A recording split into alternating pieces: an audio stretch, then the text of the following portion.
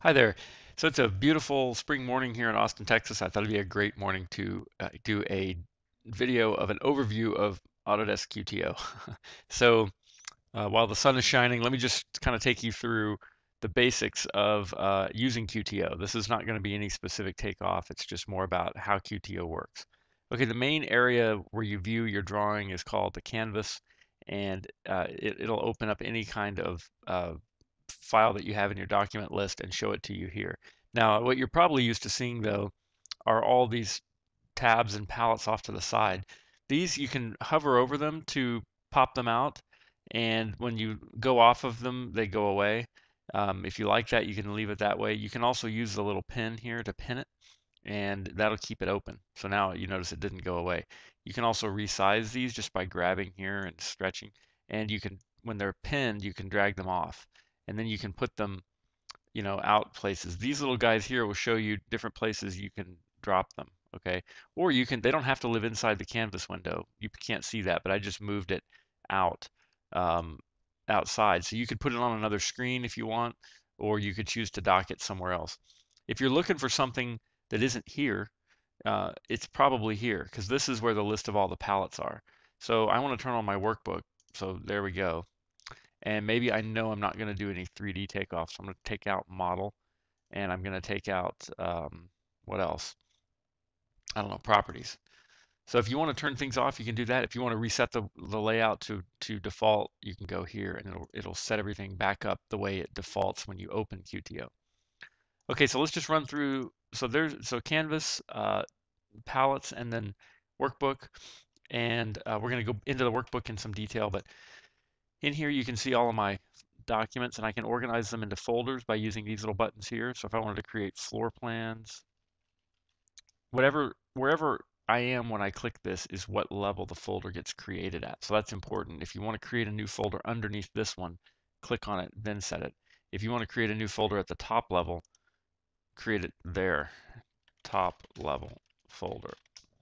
So you know, wherever you click is where the folder is going to get created. You can drag and drop things too. So if you want to drag and drop that folder in there, you can see that it went in. And then if I want to put all my floor plans in, I can hold down shift and select them all and I can just drag them into that folder and they'll go in there. And I could take everything else and move it into here. So if you want to further organize your plan set that you're estimating off of with folders, it's easy to do that. And you can drag things out and remove folders and delete them and that kind of thing. Um, you can create a new folder off the right click menu. You can copy them, uh, delete them, rename them. You can set options whether you want to see a list view or thumbnails. Uh, this I don't see people use too much, but if you wanted to use thumbnails, you could do that. See those also. So sometimes that's the easiest way to jump around. Um, okay, so there's your documents view. Um, here's a little filter. This shows you the same kind of options that you have, but it also allows you to go out and get more uh, documents. You can also compare from here. You can delete sheets from here. Um, you can view by additions and deletions. That's part of compare. And then properties uh, shows you the properties of that folder. A little detailed there, but okay. So that's where you manage your documents, and whatever you click here is what you're looking at over here. You only have to single click. Okay. There's also something in here that's handy, which is this legend um, view or this legend column. If I click on the legend, it will put the takeoff legend onto the sheet. And what I mean by that is if I go in here and I do a takeoff real quick, there's some goofy takeoff. Now, if we look back, you see, you can't really see it, but that right there is my legend. So now I can take that legend and move it off over here. And it's just a real quick way to show people what, you know, how you got your takeoff. Let's do another one. Okay, now it just added them together. And then if I wanted to take them apart and put them in different groups, I could make a new group called um, area 2, for example, and move that in there. And now I'll have two different, oh, I got to make an item. Area 2, there we go. Now we'll have two different colors.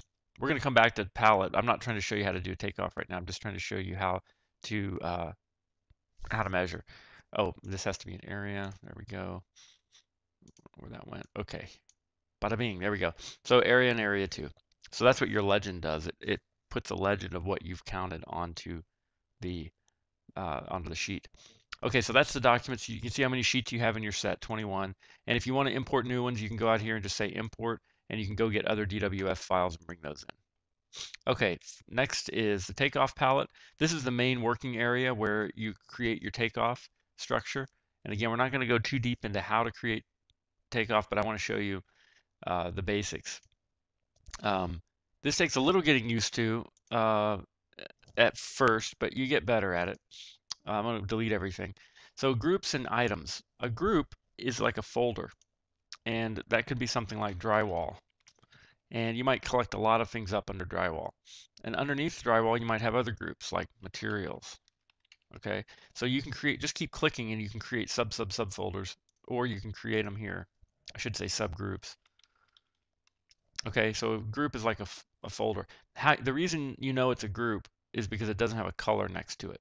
If it has a little colored box, then it's an item that you can take off. If it doesn't, then it's a group. If I create one under here, now you notice it has that area there. So now it has, but I still need to, when I create a, an, an area, I need to tell it what the type of that area is because I, Uh, that's a little confusing because it says area, area. But if I did this as like ceiling, and I wanted to measure the ceilings of this building, the ceiling I'm going to measure by looking over here and clicking, and that's going to make it an area calculation. So I would go area.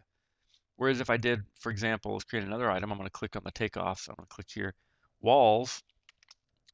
Walls I might count by tracing, which means they're going to be linear. Okay, so you can set the type of the takeoff right here by just hitting this pull down. There's undefined, which is what it starts as. There's linear, area, volume, and count. Count is for things like doors, windows, you know, things you have to count. It's also for if you have to use like rolls, like rolls of carpet might come in a certain length. You want to know how many rolls you need. Even though it's going to be derived from area, you probably want to use a count for that. Volume would be for like concrete, cubic yards. Uh, and then area would be anything that you measure an area of, like siding or brick or, um, you know, concrete slab. Linear things that you trace linear length. Okay, so uh, that's that. And then you can also filter if you want to just see all your undefined things or just your defined things, meaning undefined is over here. If it said, if this says undefined, then it will, this filter will change it. I could see my catalog items, my project items, or I could see anything that has an assignment. And right now, nothing is taking off, so you're not going to see any of those. So I'm going to just turn those off. But if I had a catalog that I had brought in, I could filter it down to just show me the things that came from the original catalog, or just show me things that came from this project or show me anything that has assignments to it. And then if I want to say custom, I can find anything that says word ceiling. So if you have a big takeoff, it's nice to be able to filter it down to just seeing one little thing in your filter. Okay, and then here you can uh, create new items or groups. You can duplicate something if you want to make another copy to kind of work off of. You can delete it, of course. You can show everything or you can show objects. Not really sure exactly what that does, to be honest. That's probably one for the manual. Um, assign to an item. If you want to assign a, a, an object to an item, that's really for doing model takeoff. And then you can unassign, um, export the catalog, import the catalog. Uh, the, the, catalog is essentially the the list of things that you want to test off of. So if I had a catalog in here, let me go into uh, QTO. Here's an example of a catalog. It's an ATT file. You can also use a CSV or a text file. And if I import that, it's going to, here's all the things that are in that catalog. And I can say, okay. And it's going to bring in, watch over here, it's going to bring in a whole bunch of takeoff items.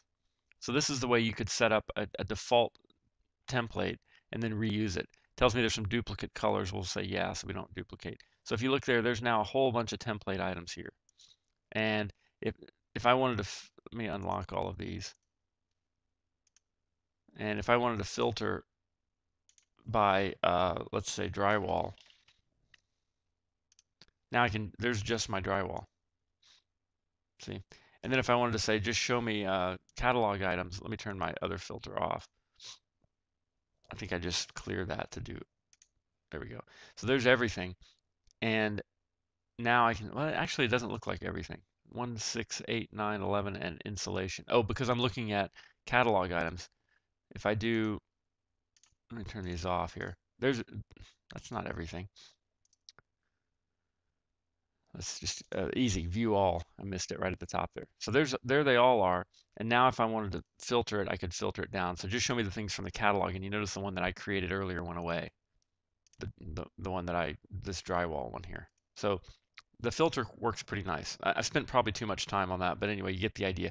This is just like anything else. You can pin it and have it go away if you want or not. Let's see. Okay, the next, the big area that you need. Okay, the the the, the, workbook is the big area where you spend a lot of time. I or I spend a lot of time. It has these tabs at the bottom that that correlate to what you take off. So if we go in here, for example, and do, um, I'm going to go back into the one that I know. I'm going to do ceiling area. I'm going to grab this and I'm just going to take off the ceiling area here like this. Okay, so now we've got a tab for drywall because I've started to take drywall off. So as you take things off in your takeoff palette, let's pin this back here. As you as you create takeoff, it shows up down here in the workbook and then you get a tab for it. So this is kind of like a filter because you can you can easily filter things down. Let's do Windows. I'm just going to do some fake counts here just so we have some other stuff. You notice my uh, my legend there is up is updating itself. Just tracing some counts. Let's move that legend out of the way. It can kind of be tricky sometimes to move the legend if it's over the top of something. Okay, so now we have windows and doors and drywall. And, our, and see, I can filter those to just show me the windows and doors or just show me the drywall. So this is another great way to, to filter it. The other thing is right up here, you have a workbook filter, and this will show you, just show me the things on this sheet or show me the things throughout the project. So if I had drywall takeoff or ceiling takeoff on multiple sheets, if I said project, it would show it to me everywhere. If I show just on this sheet, it's only going to show me what's on the sheet. So that's how you can change the view you're looking at. You can also change your row size if you like bigger text, um, and you can print the workbook out from here. Um, areas, I'm gonna I'm gonna right click in here and I'm gonna add an item, and let's add drywall to this, and let's get a 4 by 12 half inch drywall. Oh, let's get ceiling board. There we go. Okay, so we've just added an item to, to here, and I, I want to I want to figure out how much of that material I need because here's my ceiling. Okay, the deal is you put your formula onto the item, and it draws its values from the things above it. Area. If I do that equals area, it goes. It just takes the area of the thing that it's part of. See how that is? Now, if I these are 4 by 12, so I could divide by 48 because 12 times 4 is 48. And now I've got 34 each, so 34 sheets of drywall. That makes more sense. But we also have a waste factor. Let's say we have a waste factor of 1.05 or 5%. Now we've got 35 sheets. And if I don't want to see, see fractions, I can say round, and I can round the whole thing up. And now I know I have 36 sheets it doesn't actually round it up. It rounds it, you know, uh, over halfway goes up and under halfway goes down. You may want to be careful with the round because if you're adding waste factors and everything, it can it can get out of hand. You can move the parentheses, but then you're going to back you're going to end back up with with decimals again. So you could do you could do this, and in this case, I don't think it's going to matter. But if you had if you wanted to round up the number of sheets and then take a 5% waste and then round that number up again, you could do that. It didn't make a difference in this in this case, but in some cases it might. Okay, so anything that I take off shows up in the workbook. It shows up in the takeoff palette. Very easy. The other thing is I can change the properties of my objects with the, these pull downs up here. So if I wanted to make them more opaque or less opaque, I could do that. I could change the color of them and so forth. Let's go back to the windows here there's my window uh, item. And I'm going to right click on this and say properties. And we're going to change the color to black. And we're going to change the symbol to a square. And let's make them a little bigger. Now what you'll see is black squares. And let's make them more opaque. Okay, so when I set the property of this group, it changes everything down below it. Um, and that's how you can mess around with the way it looks on your on your legend and on your sheet. What I've done here, if you notice this little back arrow is up, I can go into the item. So I, there's nine here. I can double click here and it takes me down a level kind of into the into that nine and it breaks the nine down for me. See one, two, three, four, five, six, seven, eight, nine. And then I can go back up a level here. I can also change the value of that grouping there and it'll change it everywhere.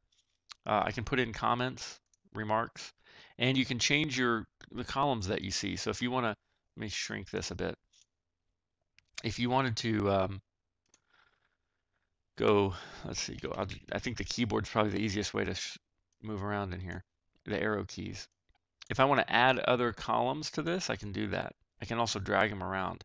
So if I wanted to add time out here and I wanted to add labor cost, so you can turn your columns on and off or depending on, and move them around just by dragging. And this will save with your project. Uh, let's see what else. Okay, so just moving around, you have the you have the standard roll the mouse to go in and out, or hold the mouse down to uh, to pan. And I mean hold the middle button down, roll the wheel, roll the wheel, and then hold the wheel and pan. If you're doing a, a, a long takeoff like this and you need to move around, it'll auto zoom for you if you're in the right in the right magic spot to get it to do it. Or you can just hold down your shift your uh, space space bar, which will put you temporarily into pan mode. And if you let up on the spacebar, you come out of pan mode. So that's a nice way to one hand on the mouse, one hand on the spacebar kind of thing. Okay, so that, that would give you, you know, there's the thing I just traced around. So you can use the, the auto takeoff or you can use the uh, the space bar to pan around while you're measured in or while you're zoomed in. You can also do stamps, you can do shapes, you can do call outs. If you want to call things out why you did certain things on the plan, you can do that. Um, reporting is right here. So if you want to create a report of what you've done, you basically give it a name, you give it a, a type. You can do a summary report, you can do a group report, uh, or you can do a material report. Group will break it down by groups up here, and material break it down by material type. So a material that shows up in five groups will only be one line here, whereas a, a group that has five items will be five.